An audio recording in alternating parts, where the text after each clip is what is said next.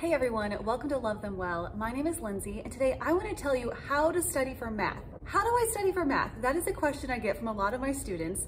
It's actually super simple to study for math and I hope these tips help you out. First of all, when you're studying for a test, the point is not to get a good grade on the test. The point is for you to learn the material. So the best way to do that is to not cram the night before for a test, especially with math, because math concepts build on each other. So my best tip for any math student is to study almost every night. Take home the work that you have done that day in class and just go over your notes. And I recommend this for any class you take, but especially math.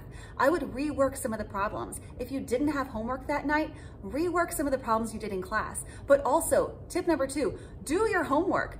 Teachers do not give you homework to torture you. It is to give you extra practice. I am not a big proponent of homework. However, with math, sometimes it's necessary to give students homework so that you can have time to practice on your own when I'm not there to help you all along the way. Sometimes the best way to learn math is to take what the teacher has taught you and then figure it out on your own. Those little light bulbs that go, oh, I get it now. That best happens when you've taken what you've learned and applied it on your own, and then it sticks. So after you've looked over your homework every night, you're going through one or two questions, making sure you understand it. That is when you can ask questions the next day in class. If you wait till the day of the review to ask all of your questions, you may not get them all answered. So as you go, make sure you're asking those questions to your teacher. We love questions. We want to help you. We want you to understand it. So ask those questions so that we can know where we can help you best. And then I'm pretty sure 99.9% .9 of teachers, hopefully 100%, give you a study guide or a practice test. The fun thing about math is that there isn't going to be anything new on the test. What you've done in class is what's going to be on the test. So if you know how to do those concepts, you're gonna be able to do them on the test. Go over that study guide, go over that practice test. And how do you do that? Just redo the problems.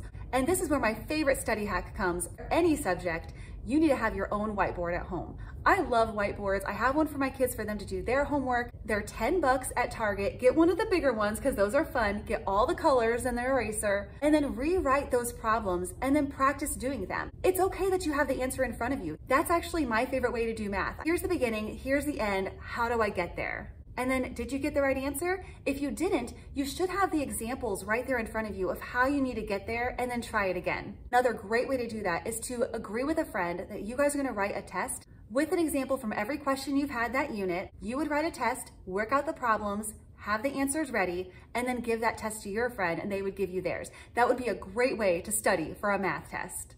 If your test is open note, never go into an open note test thinking you don't have to study. You have to know how to plug those numbers in and get the right answers for you to be able to be successful on that test. These are my study tips. How do you study for math? I hope you all have a great day. Bye.